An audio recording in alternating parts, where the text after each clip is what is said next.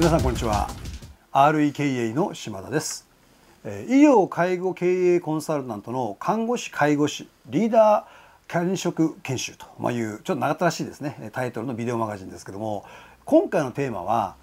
人材が早く育つチェックリスト経営ということになってるんですね。これあの文字で送ってるメルマガでも非常に反響のあったものなんですけどもあの管理職である方が今今日聞いておればね、えー、分かると思うんですけどねあなたもこんなことをいつも感じませんかと例えばそんなこといちいち私に聞かんでくれとそんなことくらいね自分で考えてやれよと。でまあもう次に何すべきかちょくちょくちょくちょく聞いてくる。あなたもさ何回もやってるんだからさいい加減に覚えてよってまあ愚痴の一つも言いたくなるようなことっていうのが現場ではありますよね。でなじゃなんでですね部下はいちいちいちいち責任者とかリーダーに聞いてくるんでしょうか管理職に。ね何回も経験してるくせに。一つはですね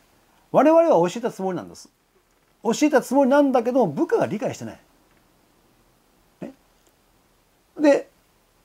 部下が納得しないまま仕事だけ振られてると。だから後の中に入ってないんですね。あとこの仕組みの問題。業務の標準化がされてない。だから標準化がされてないから誰でもできるわけ誰でもできる状態になってないということですね。それかもうこれも大事なことなんですけどね。いちいちこっちに聞くなよと。聞いて、えー、聞かなくても済むように見える化ががされてないわけですね。こんなことでですね聞いてくるわけですね。でもねまあ、そういうこと一時聞いてこない来るんだというためにマニュアルをちゃんと書いてますよと言うんです。でもマニュアルが充実しても活用されてないんじゃないですかって例えば今目の前で指示を受けようと思っている職員がいちいち違う場所でじっくり見なければならないマニュアルまでとことことことこ行っていちいち見てみますかねって多分マニュアルは使い勝手が悪いんですね。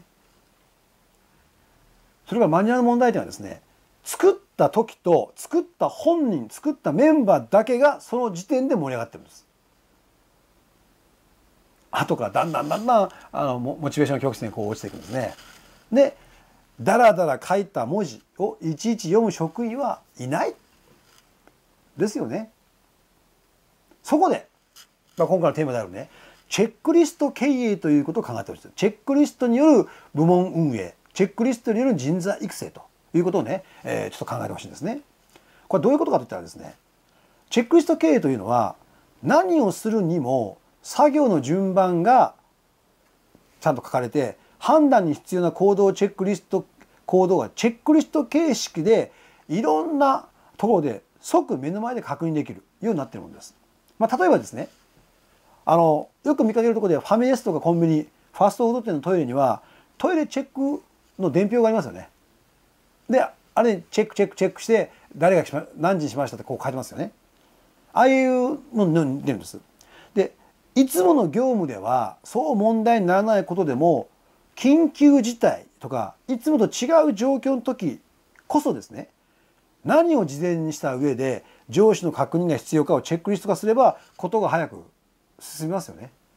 チェックリストたくさんあの一つの作業にたくさん書かずんですもうほんと10とか20が精一杯ぐらいのチェックリストなんですね。でそのチェックリストというのはですね、まあ、ちょっとこれ概要書いてますけどねチェックリストは各現場の業務でいちいち聞いてこなくても自分で判断できるような一般業務をチェックリスト化するまずは。その後各チェックリストは多くたって20未満まあ過剰わけですよ1何々したか2何々したか3何々したかですよ。で緊急事態特殊状況のこそチェックリストで標準化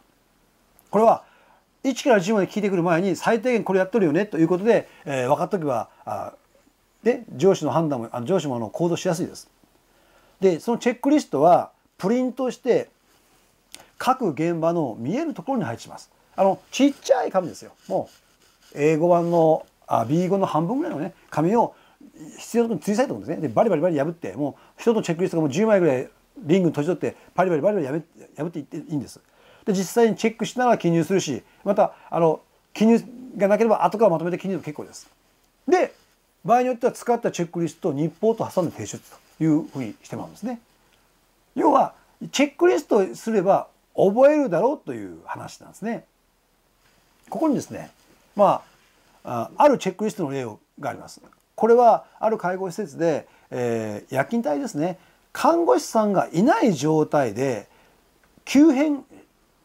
しました。利用者はね。その時にどう判断するかということを、まあ、書いたチェックリストで。全部でまああの9個しかないんですね。でまああの例えば、えー、チェックポイントは1異常を感じた時に意識があるか呼吸があるか痛みどっか確認したか、まあ、多分あのベテランの人はこんなもの見なくたってやるやれるんですね。ところがベテランじゃない方がえドタバタもう焦ってる。ね。2人夜勤のうちにまあどっちも経験ないという場合はその時この順番でやりなさいってそれをそれを近くにあのステーションの中でポッと貼あの貼ってあのリングに吊り下げてね破ればいいんですね。それから意識がない場合は周囲にとにかく大きな声で知らせたか救急車すぐ要請したかで呼吸がない場合は声をかけながら心肺蘇生したか心ママッサージあマッサージやあ AED を持ってくるように叫んだか叫んだかって書いてますね世の中じゃなくて。それから倒れているところを見た時に、え、意識の確認とボディチェックとその場でバイタルチェックしたかとかあと転倒による頭を打った場合は救急車に至急要請したかバイタルチェックの結果を救急隊に引き継いだか個人台帳を持ち救急車に同乗したか救急車に乗ったってはいいけど個人台帳持ってなかったそうするともうあの分からんでしょ？でそれがちゃんとチェックリストああ個人台帳個人台帳っていうのが分かるわけですね。だから8、えー、家族看護師責任者に連絡したかできない場合は他のスタッフに依頼して連絡してもらったか要するに自分があの救急車に乗ったと、ね、同乗したとできない場合は他の人にそうお願いしたかとかね。あと9発見した時間バイタル蘇生を始めた時間ををメモや何かの白紙にメモしたかこれ大事でしょ。みんなもうバタバタしようから。そのその時にチャチャチャとやってるかと。いうことを自分が書けなかったら何とかさんお願いねって。最低限これだけやっとけよってことでチェックリスト化したんですね。こんなこでこれを見ればまあベテランの方は多分分かるんですこんなこと見なくたって。だけどベテランじゃない方はあああれやってないこれやってないって分かるでしょこれがマニュアルだといちいち見ませんよチェックリストがすぐ近くにあってベリッて破って見れる状態にしとけば使ってくれますよっていうのはチェックリストなんですね。でねこういうチェックリストですね今あのもういろんなケースのチェックリスト作っていろんなとこに配置してるんです。マニュアルじゃ見らんけどチェックリストのペラ紙でリングに閉じ取って破ってこいそして記入したら日報としての提出せっていうとまあ途中で使わなくなってくるんですよ。あの使わなっていうのは覚えていくから覚えていったらいいんですけどもまず覚えていく前はいちいちがね聞かれるとかねなんか特殊事故状況の時に、えー、よく分かんないという場合には、まあ、こういったことを使ってですね人材育成を早めていきましょうと、いう一つの考え方です。これ多分導入したらあ人材育成は早くなってくると思いますよ。えー、ご参考にしてください。以上です。